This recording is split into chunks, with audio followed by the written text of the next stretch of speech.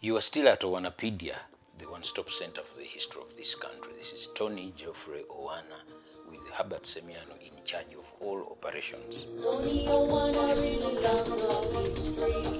He has a passion for doing research. And he shares all this history with you so that you can make informed choices. Banange, have you subscribed to Owanapedia? I don't know what you are waiting for. History with you so that you can make informed choices.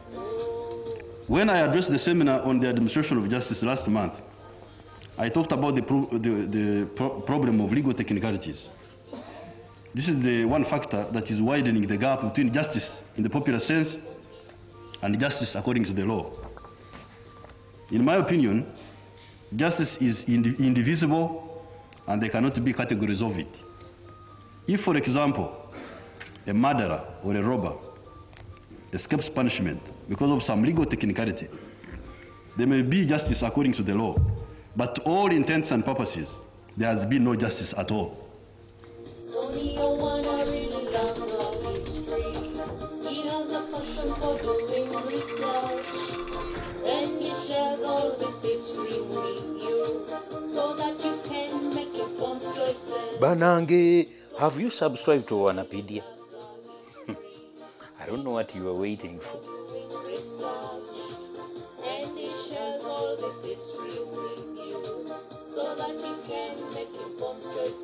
Where are we? We are at the Uganda International Conference Center where President Yoweri Museveni is meeting members of the Uganda Law Society way back on 25th of February 1987 when they invited him to exchange views with them.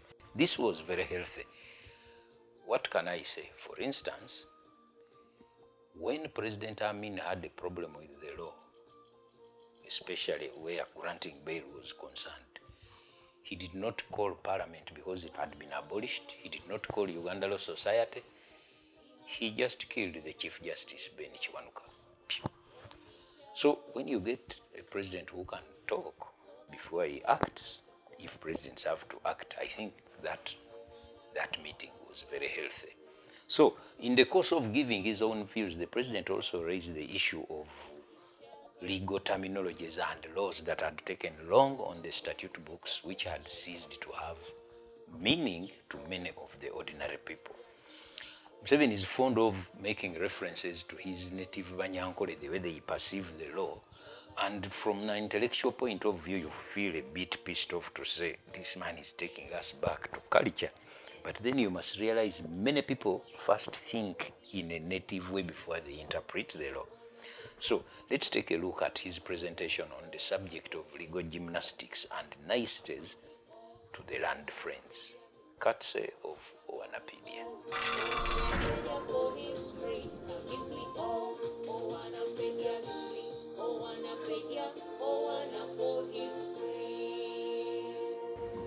It is not easy to guarantee security for the future without punishing the past criminals. At least, even if you don't punish all of them, you you can excuse some of them depending on the degree of responsibility of crime. But to say that all of them should be excused unconditionally is very unwise. It will endanger the future of our country. When I addressed the seminar on the administration of justice last month, I talked about the, pro- the, the pro- problem of legal technicalities. This is the one factor that is widening the gap between justice in the popular sense and justice according to the law. In my opinion, justice is indi- indivisible and there cannot be categories of it. If, for example, a murderer or a robber escapes punishment because of some legal technicality, there may be justice according to the law, but to all intents and purposes, there has been no justice at all. Because in reality, injustice has been upheld by a court of law because a criminal has escaped. And people know that justice has not been done. They know it, the population know it. They do not have to be educated to know this. Contrary to what some people believe, popular justice does not mean justice which is impure or tainted or perverted. Nor does it mean mob justice. It simply means justice which people appreciate and understand. If justice continues to be administered above the heads of our people, they are bound to demand an overhaul of the system so that they get in its place something that they fully appreciate and that conforms to their ideas and values. We must therefore ensure that technical rules which hamper the proper administration of justice in our courts are reformed. As much as possible, we must ensure that cases are lost only on grounds of merit and not on technicalities. Really, you are doing uh, uh, um, a, a harm to justice if you throw out a case, in my opinion, as a layman, because me, I'm, I'm in the crowd, I'm, I'm among the masses. I'm just there among the crowd where I shout, Kino Kitufu, this is right. This is my sense of justice. If you throw out a case just on technicalities, I'm sure you're doing damage to, to, to, to, to the courts and to the justice itself. It is not just to throw a case out of court, for example, because the plaintiff does not disclose a cause of action or the charge is defective. Opportunities must be given to amend the document so that the court proceeds to hear the case in, on its merits. What's wrong if the thing has been written badly? Go and write it again. Eh? I should also like to see the rigid separation between a criminal court and the civil court dismantled so that there is no undue delay in getting redress from the court. As I said earlier, if an embezzler is convicted of embezzlement, he must repay immediately the funds embezzled. Otherwise, his property should be sold to realize the amount embezzled. Similarly, I should like to see a citizen who is wronged or injured by a criminal compensated by the criminal immediately in the same court, which convicts him. Because of legal technicalities, a person can hardly present, an ordinary person can hardly present a case in court. At the same time, he, can, he, he cannot hire the services of a legal practitioner because we have become too expensive. So he's helpless. It is only the rich who can afford to pay for your legal services and for whom you will use your accumulated knowledge of legal technicalities to win cases, usually against the poor. In what sense, then, can we meaningfully talk about equality before the law if the lawyers and the courts are only at the service of the rich? You have a educated society which educated you in the first place and enabled you to get this high training.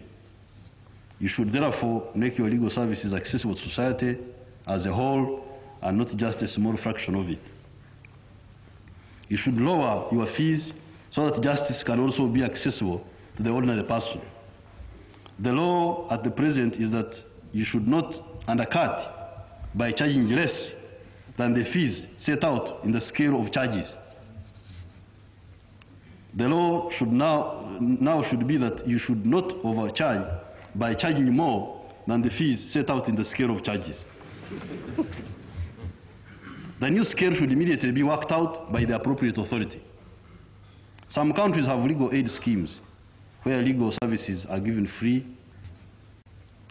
The law should now, now should be that you should not overcharge by charging more than the fees set out in the scale of charges. the new scale should immediately be worked out by the appropriate authority. Some countries have legal aid schemes where legal services are given free of charge or at a nominal fee to those members of society who may not be able to afford lawyers' fees.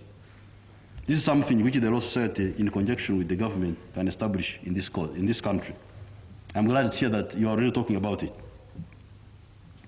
But the Law Society should play the preponderant, preponderant part. Every lawyer, for example, can be required to put in one day in a month to give free legal services to the poor, which you have already uh, agreed to do.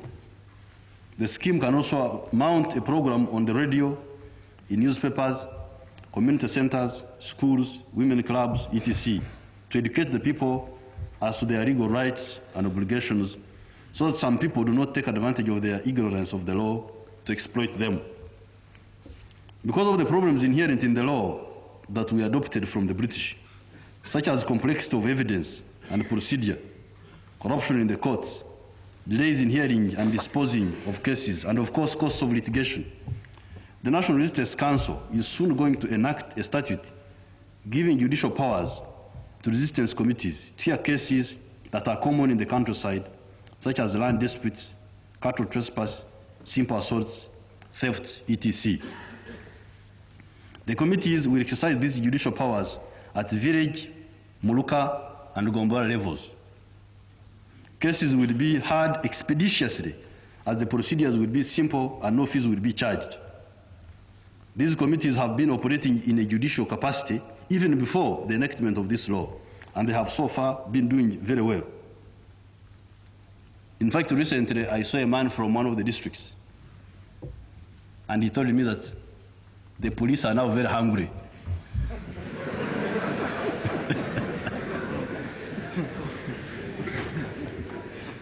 you know, I'm really amused by the philosophical capacity of the people.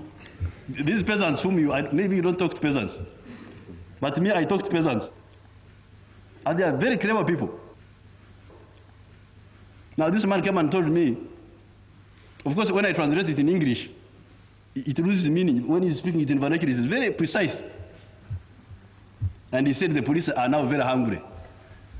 And uh, if he's your friend, you, you can for, have pity on him and give him a, a bunch of bananas. Uh, that's the only thing you will enjoy. I said, why? He says because the committees are settling all the cases. You see? They're settling all the cases. So the policemen are completely unemployed and their services from which they were getting some pecuniary uh, rewards uh, are no longer needed. So I, I really, so th this, these committees are already exercising judicial powers de facto. The other day, the Honorable Njuba was trying to rein them in because they had de facto taken over the powers. Any possible weakness that is discovered in due course shall be immediately corrected by an appropriate amendment to the statute. We also intend that those who apply to court, for instance, before I leave this section, I, I wish to acquaint you with our experience in Luweero, here in the bush. At that time, we were controlling all the Gomboras in Nakaseke County, or uh, some of the Gomboras in Kyadondo, like uh, Gombe and uh, Nyimbwa,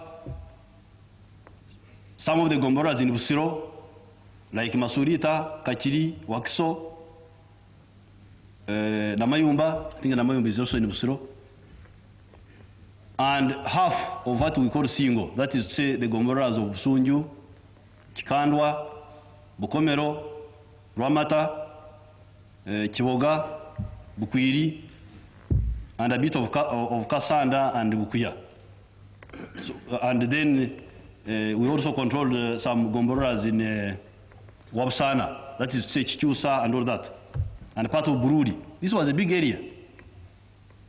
And in 1982, we worked out, which you could look at actually, we worked out a, a legal code for our area.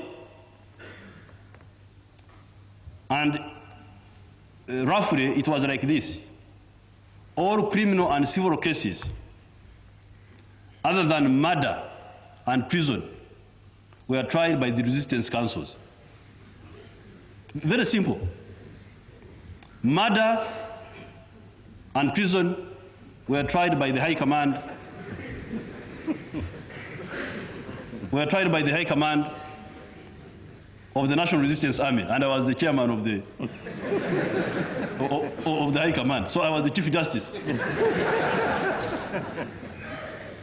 we also intend that those who apply to court for letter of administration to be given authority, authority to administer the estate of deceased persons should pass through the chairman of the resistance committee of the village and parish in which the deceased resided. Notices of application appearing in newspapers which are only confined to Kampala. Now imagine. you give a notice that somebody's estate is going to be divided up, and it is put in a newspaper here in Kampala. And this man is living in a, in a, uh, Chikamulo or Kabogwe in Kapeka or in Adilang in uh, Acholi. Do you, do you really think this is serious? These notices are not enough. We would like interested persons in the village and parish to know that someone has applied to administer the estate so that if they have any objection, they can raise it immediately. The committees can also be tremendous, can, can, can be of tremendous help to the Administrator General in his work of administering estate. There's a, there's a lot that we could have learned from our customary laws if we had cared to create, soon after independence, an independent and suitable legal system in this country. Enforcement of African laws and customs depended on two principles, namely, reliance on the parties concerned to accept the judgment of the elders and on the fear of upsetting the balance of nature or the community, either, either of which might lead to the destruction or, or punishment of the wrongdoer and defaulting party. While the African legal systems recognized the place and value of the individual, that recognition was invariably linked with the sustenance and survival of the family and the community. The interests of the latter always prevailed over the claims of the individual. This was a political and legal concept to be taught and memorized by every African child. The superiority of, of communal interests was so well embedded in society that any individual who defied it was instantly punished, more often than not by his own close relatives. There were, of course, some weaknesses and gaps in our customary law. It was not an advanced system as far as commerce and technology were concerned. Its rules relating to the identification of certain wrongdoers left a great deal to be desired. But its emphasis on confining the settlement of disputes among the immediate families, clans, and elders of the respective parties encouraged the understanding and respect for the law as well as cohesion within society. Thus, there is much good which, which we should not allow to disappear altogether in the name of catching up with civilization. I would like the Law Reform Commission, as a matter of urgency, to come up with proposals concerning a new marriage and divorce law so that we can get rid of the present law of marriage and divorce. It is absurd, in my opinion, that we should be having this law, which was passed in England in the 19th century, on our statute books. Even, even England has since drastically amended this law, but we, who should not have had it in the first place, are still applying it. This law, which forces every man to marry one wife,